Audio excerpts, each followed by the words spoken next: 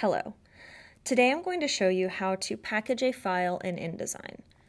Packaging a file in InDesign is very important because InDesign does not automatically embed fonts and graphics, but instead it loads a JPEG preview of your images.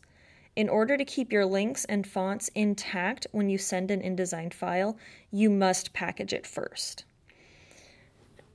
If you don't package your InDesign file before you send it, it probably won't print the way that you want it to.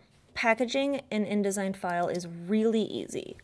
All you have to do is go to File and Package.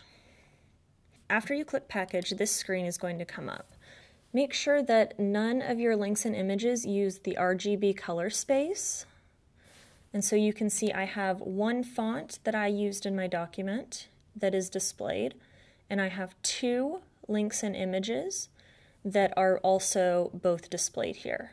So if everything looks like it's there, then you'll just click package. So this will save everything in a folder. You'll notice that at the top where it says save as, your file name has become what you had originally named your file with the word folder at the end. And then down here at the bottom, make sure the include IDML box is checked and the include PDF print box is checked. And then you'll click package and OK.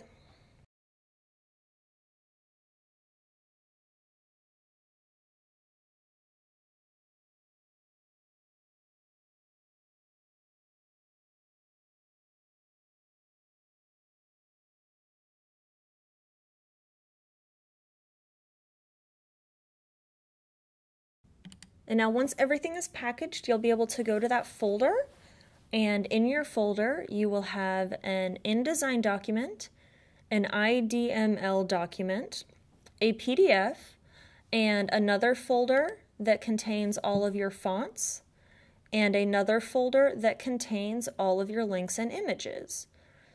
So if you were to email this packaged folder to somebody, they would have everything they need to make sure that the InDesign document you created is the InDesign document that they received.